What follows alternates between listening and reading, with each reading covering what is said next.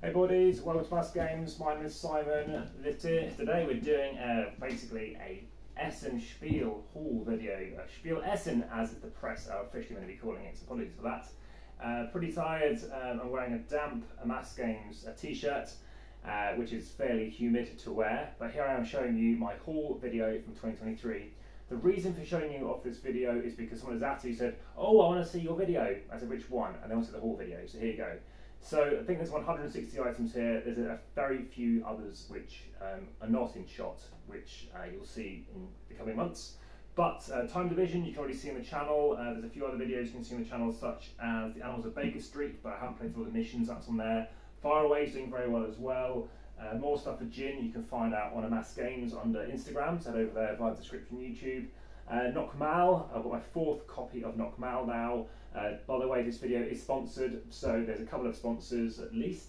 We've got right down the bottom here, we've got a game called uh, The Faceless, so I believe that's coming to Kickstarter, a company based in Europe, and also uh, the main sponsor, we've also got Tolerance as well, the people behind Dragon Dawn Productions.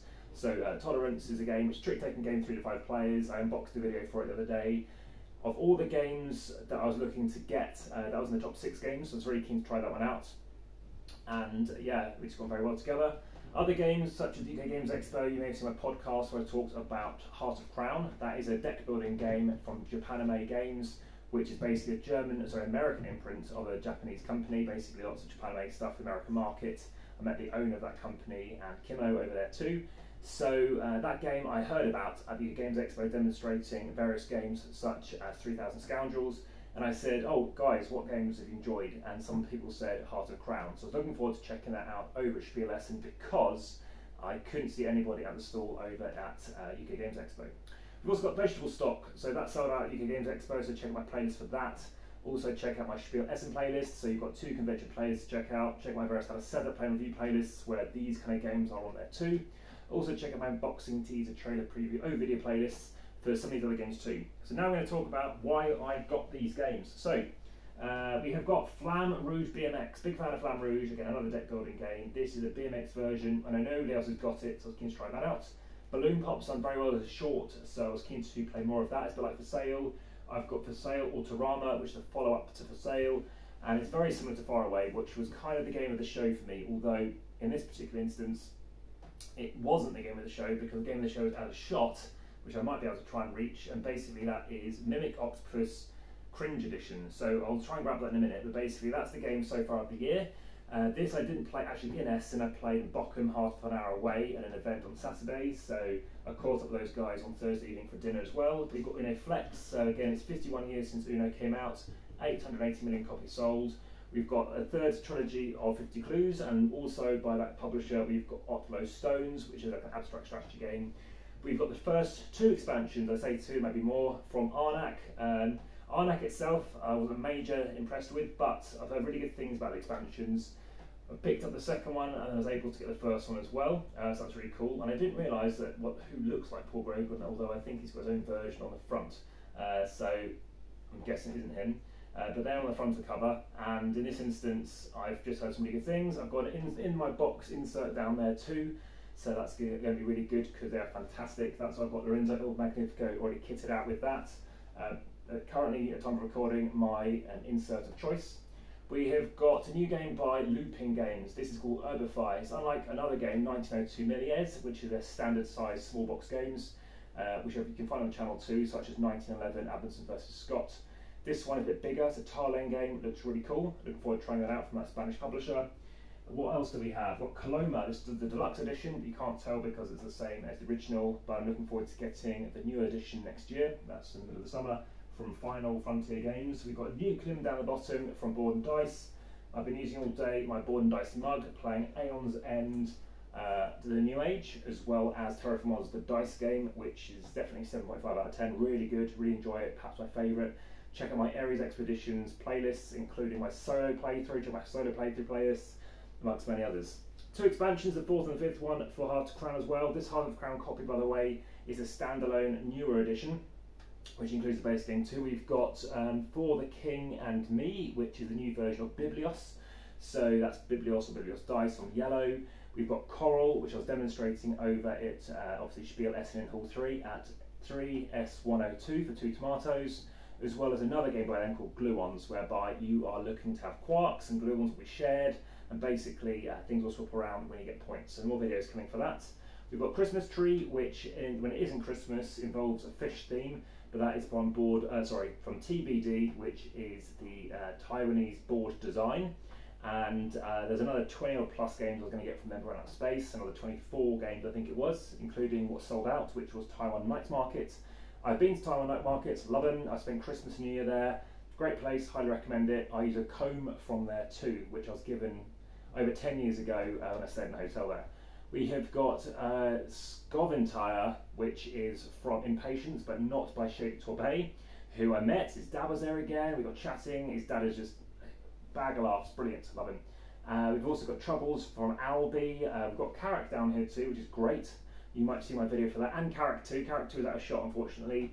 Uh, we've also got Arico Plus, very keen to try that out. We've got Spicy, which is great. Um, we've also got the first, well, I've got the Sherlock expansion for Picture Perfect. I do have the Pickpocket expansion. Unfortunately, one of my bags went missing. Uh, it's in a red Catan bag. I'm missing some games, and I know that one has gone missing, unfortunately. From uh, Funny Fox, you've got Nautilus Island, which is really cool. We've also got no, uh, Nova Capital, sorry, Luna Capital. I was given that game and another game uh, by a friend uh, who ran out of space. I've got some sleeves for Hike. I've met the Hike designer. I've got the Hike expansion as well. Uh, we've got some other stuff like Genius Star. Uh, we've got other games such as Secret Santa. This is from Matagot or Matagot and Friends. We've also got a small game by the lovely illustrator Roland MacDonald who illustrates games such as Undaunted Stalingrad, which I played on Thursday again, and Mission 13. All the other Undaunted series, the Western Legend stuff, which I've got just had a shot as well. And uh, basically, it's again that this person's designed. Also, Legacy of Yu, so a solo game by Shem Phillips. I met him over at the UK Games, uh, sorry, at the uh, Spiel Essen Fair as well. Check out my pictures over on Instagram for that, along with Sam, that is SJ McDonald, who both designed uh, Wayfarers of the South Tigris, which is uh, somewhere down here too um, which yeah is in shop. Here it is, this one. Also a German promo for an Exit the Game, which I'm a big fan of. Check out 26 videos for that. We've got some lovely uh, uh, placemats, some cork mats with my logo on it.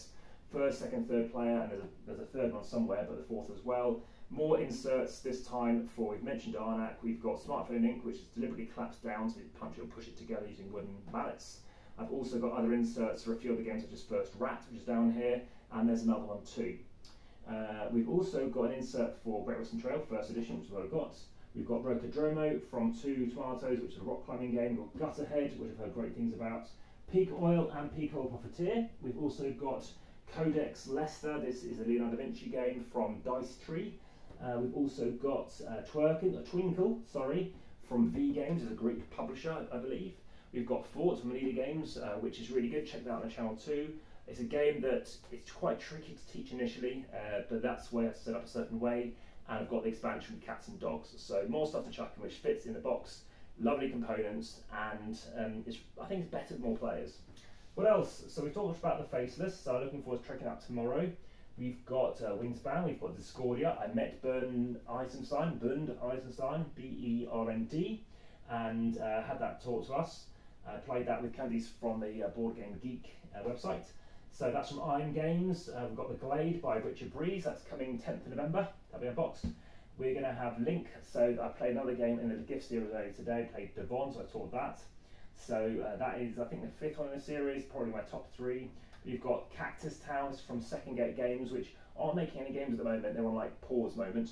Uh, but this has some minis. It has some standees. I saw it last year. I was quite keen, so I managed to get a copy of that. And the Neotopia from Arcane Wonders. We have got Gugong Deluxe Edition, which are lovely gold leaf pieces. Trolls and Princesses from Game Brewer, as well as Amygdala, the Palaces of Carrara, and Delta, all by um, Game Brewer over in Belgium. And I was trying some of their lovely Belgian beers, their triples and stuff like that. Amygdala, by the way, is by Wolfgang and uh, Wolfgang Kramer and Michael Kiesling. So hopefully you find that of interest because I've got many videos of them. They've won more Spiel Jahres than anyone else combined even individually. As well as that, we've got Big Boss, again by Wolfgang Kramer, two to six players, quite similar to Acquire. You've got Alfred Hitchcock's Rear Window, a 10 out of 10 film for me. I, again, big into films, having reviewed 6,600. Ball games, it's 2,400 time recording. We've got Almost Innocent, more games from Matagot and Friends, and Kolossal. Again, Kolossal brought us Western Legends. Uh, more games such as Factory 42, we talked about Dragon Dawn already. We've got loads of stuff for uh, Among Cultists down the bottom here, and there's more stuff on the floor. And then we've got Djinn, which I play with Zee Garcia from the Dice Tower, so check out my video and pictures over on Instagram and on their Instagram too, and their videos. Uh, we talked everything else, talked about Nuclear, we've got Australia, which was keen to play by Martin Wallace, uh, which is a kind of semi-cooperative element to it, which is where, yeah, you don't things get overrun by Stronghold games as well. We've mentioned Wayfarers, we've talked everything else there. Mikitas from Funny Fox Games as well. I've heard good things about this, and again, I was given by a friend who uh, won it. Uh, this is Age of Wonders Planetfall. Now, World Wonders sold out, uh, I was surprised I was able to get a copy of that. Uh, what else do we have down the front here? So we have also got um, more stuff from Keen Bean for Roll Camera. That's going to be coming this quarter. We've also got, so we mentioned Northwest Island, we've got Siberian. So this is, I've got the hike expansion stuff here. We have got from Wonderful World, you might have seen my video this one out for Animals Gathering. This is uh, rubber, paper, scissors, which looks really cool. We've also got Siberian, the latest game from Shady Torbey, so been really busy. So again, this is the second edition. Well, I say second edition, it's now Impatience version on the Universe. We mentioned for sale Autorama. I couldn't get any more of the uh, Aeon's End stuff. I only had War Eternal, which I've already got on the channel, which was my game of the month for the month of October 2023. But I do have three of the mini expansions, which include extra mages, extra nemesis, and extra cool cards. Uh, we've also got Sherlock 13 from Arcane Wonders, which is a kind of social deduction game. And what else do we have down here? Uno Party. Uh, we've got uh, mentioned Gluons General Orders, the follow up to obviously the Undaunted series, but without deck building now, it is more worker placement. I met Trevor Benjamin, one half of that uh, fantastic design team. Also, Detective, The Will Without an Heir. So that's a you, you could play it solo. But you might want to check my solo playlists and see when I solo run through some of those. But of course, there will be spoilers. If not, just check out my How to Set Up Play and Review. We've got Similo, Lord of the Rings. Big fan of Lord of the Rings. Check out my Lord of the Rings playlist. And there's a Similo card as well, which is the One Ring card. Also a, a, a board game version of Similo, which is really cool. Ito, which is a cooperative game whereby you're trying to use certain communications to do stuff. Astro Knights down here is a follow-up to Aeon's End. Uh, down the corner there, we've got loads of Funko games, so Indiana Jones, two or three of those. We've got Triangler from V Games again. We've got uh, the New Order, which is from Two Tomatoes, along with Escape Pods from 2. We've got On the Road from Helvetiq, so I do like Helvetiq games, in particular the Stefan Spiel stuff, which I think I've got a playlist for, but they've been bought out. But I did meet Stefan, which was great, and I had a photo with him too. Uh, let's look down the bottom quickly and just check if I've missed anything off. So we've got two airs. So two airs is from Albi. We've got loads of uh, party games such as Who Phoned This, uh, Name of the Year. We've got Footprints. We've got uh, Phantom Ink, which will be fantastic. And I know there's another imprint of that. We've got Forever Home, which I'm very keen to play. My favourite game, no thanks, my top four games, but a newer edition. We've got Ecosystems, so you might have seen my uh, follow-up game to Ecosystem, which I think is Ecosystem Marine. I forget the name of it, or Coral. But uh, there's that. Uh, what else do we have down here? We talked about Karat. We've got Diamond from 2007, obviously Ink and Gold um, combined with that. We've got Darwining from um, Dragon Dawn Games. The Puzzle for Under Falling Skies. We've got Who Killed Mia, which involves like an app. Uh, we've talked about Footprints briefly from Chili Fox, and I don't know if I saw the design, I think I did. We've got Ilios, I think it is. We've got Take Four. What Do You Mean? If I was thinking to play that one. Uh, Incoherent, another kind of party game and I've got Villainous, so version of Villainous I haven't played before, Bounty, which is a polystyrene insert from South Africa, South African published from 23 years ago, uh, Mayashao, and also Dwarf and Grey Eminence from Dragon Dawn. We've got from Cranio, we've got uh, Cranio Creations, we've got Broadlines, and Gladiator Mike, we've got uh, White Hat from uh, Dragon Dawn, and I think that's pretty much done. Ways to die, i was keen to try out, and Year of Chaos, which is part of the Grey Eminence expansion, and there's an interesting circular box on the front here, Petrius or something it's called. Lots of stuff to talk about. Let me go grab that game of the year for you now, because quite frankly, it's been really fun, and uh, I've absolutely loved it. Some people say you're a certain play group, according to the designer, but this is it. This is Mimic Octopus Cringe Edition. Highly recommend it, but for now, back to the table.